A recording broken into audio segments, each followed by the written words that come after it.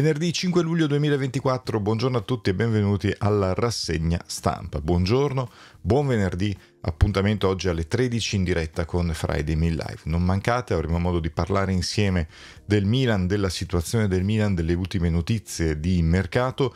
Vi ricordo anche un'altra cosa importante, il numero di telefono per i vostri vocali WhatsApp che è il 366 111 2964 e a proposito di WhatsApp è attivo il gruppo dove ogni giorno trovate un po' di rassegna stampa, dove trovate un po' di notizie, eccetera. Pochi messaggi al giorno, ma interessanti, insomma, per restare così in contatto. Anche per il gruppo WhatsApp trovate il link qui sotto in descrizione. Cliccate e potete accedere al gruppo. Detto tutto, passiamo alle notizie. Allora, calendari ieri di Serie A, eh, qualche cosetta di mercato. Eh, questa sera ricomincia l'Europeo con due quarti di finale bellissimi, speriamo insomma. Spagna-Germania alle 18 e Francia-Portogallo questa sera alle 21. Naturalmente massima copertura su questo canale per quel che riguarda questi appuntamenti. Ne parleremo insieme, li commenteremo, eccetera, eccetera. Voglio farvi vedere una piccola curiosità, una chicchetta, come si dice, una piccola chicchetta. Allora, sapete che spesso ci si domandano i giornali come lavorano, i quotidiani, eccetera, eccetera Sarà un caso che tre dei principali quotidiani italiani scrivono tutti la stessa cosa in prima pagina? Guardate che, che roba divertente. Allora, Corriere della Sera non riguarda lo sport, però era così, tanto per parlare un po' di come i giornali operano, no? che poi si riflette anche nel mondo sportivo. Gran Bretagna, scrive il Corriere della Sera, Valanga laburista. Ok? Quindi Valanga laburista. Poi andiamo sulla stampa e il titolo è lo stesso, guardate, Valanga laburista. Poi andiamo su La Repubblica, onda laburista. Curiosa questa cosa, e fateci una riflessione, insomma.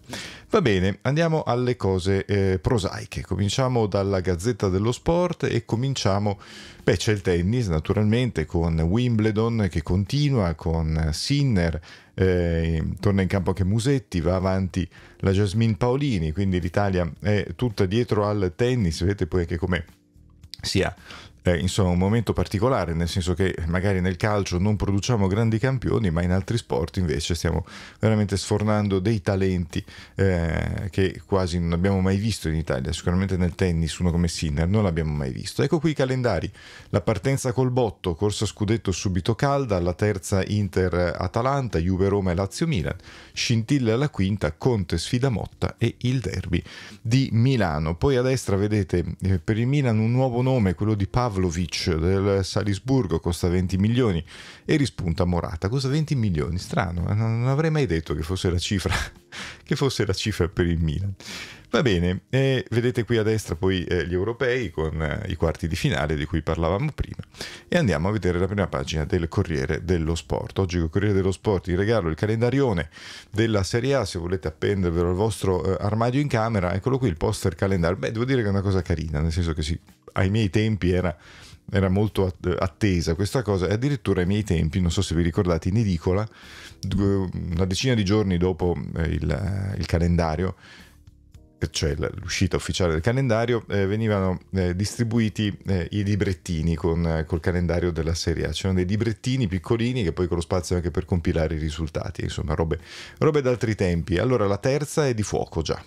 L'Intercampione debutta a Marassi, Motta c'è il Como, eh, Conte parte da Verona. I grandi match arrivano il primo settembre, Inzaghi contro Gasperini, la Juve incrocia la Roma allo Stadium, la Lazio pesa il Milan di Fonseca, spettacolare la quinta, Antonio il Napoli a casa dei bianconeri mentre a San Siro si gioca il derby. L'8 dicembre Tiago sfida il Bologna. Notizia di mercato, la Juve sempre più su Cobb Mainers, Gasperini cerca un'altra mezzala, svolta per l'olandese da Motta, l'Atalanta non si ferma a Zagnolo con Cobb che resta una priorità per Tiago. Poi c'è l'intrigo Buongiorno promesso al Napoli ma L'Inter sta cercando di inserirsi a destra, vedete Spinazzola è fatta, andrà proprio da Antonio Conte, poi Mbappé CR7, il mio idolo. Oggi partono i quarti di finale, le due stelle accendono la sfida tra Francia e Portogallo. Un onore giocare contro Cristiano, dice Kylian Mbappé e poi dice anche non votate la Le Pen.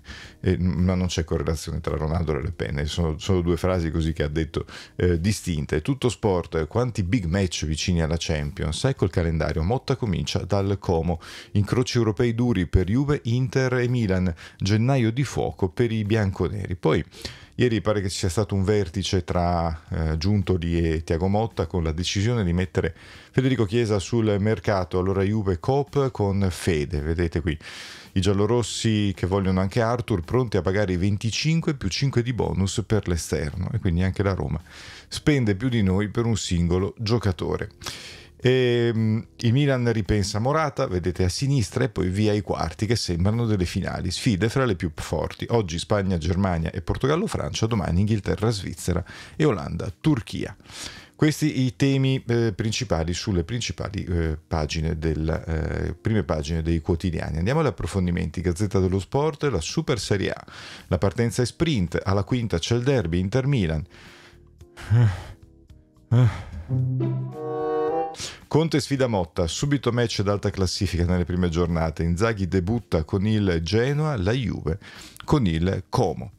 Trova, troverete ovunque naturalmente il eh, calendario della Serie A, Serie A che riparte e da lunedì tutti in campo. Lunedì anche in tarda mattinata la presentazione di Fonseca, in un certo senso qui sì veramente della stagione, poi nel pomeriggio si comincia a lavorare, eccolo qui vedete Trentino e Austria si va in ritiro, anch'io adesso andrei in ritiro in Austria 15 giorni, o in Trentino anche, perché no?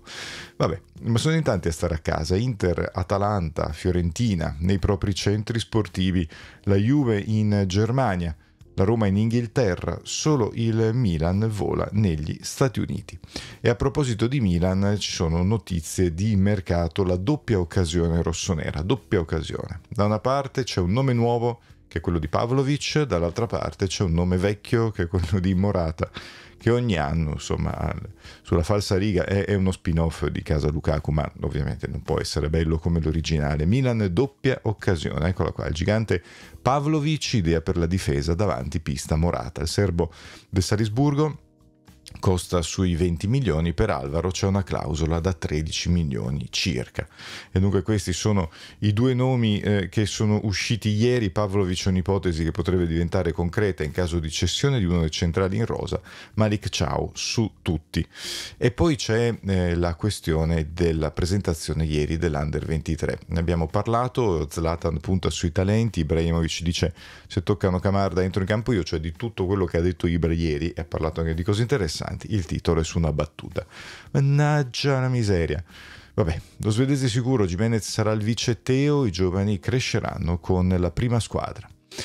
Intanto la Juventus si rifà il centrocampo. Eccola qua, Super Juve al centro, con Miners aspetta la signora, Giuntori è pronto con l'offerta. I bianconeri possono investire 40 milioni per l'olandese, ma prima serve una cessione. L'Atalanta ne vuole incassare 60. Ne incasserà circa 60 eh, il Bologna che eh, cederà Calafiori all'Arsenal perché è praticamente fatto il passaggio del eh, centrale difensivo del Bologna proprio al, um, ai Gunners. Eccolo qua, vedete, Calafiori va all'Arsenal, i Gunners vincono l'asta 43, 53 milioni al Bologna e eh, 4 per eh, Riccardo. L'azzurro ha scelto Arteta, il club di Saputo dovrà versare il 50% al Basilea al netto dei 4 milioni spesi per l'acquisto per i rossoblù, un guadagno di circa 22 milioni di euro. Questa dunque la situazione per quel che riguarda il mercato, così abbiamo fatto un giro veloce, un'infarinatura generale per quel che riguarda il mercato. Andiamo a vedere invece le probabili formazioni delle partite di questa sera, perché alle 18 il meglio che c'è scende in campo Spagna-Germania da Yamala Musiala, quanta qualità, presente e futuro nella sfida dei quarti con i super talenti. Ci sono pure Williams, Nico e Wirtz. Allora, formazione così alle 18 a Stoccarda la Spagna con eh, praticamente la formazione titolare, quindi con Pedri, Rodri, Fabian Ruiz a centrocampo, Nico Williams, Morata e Yamal in attacco, occasione per vedere dal vivo il nostro prossimo centravanti che non l'avete mai visto. Morata, stasera avete l'occasione per guardarlo.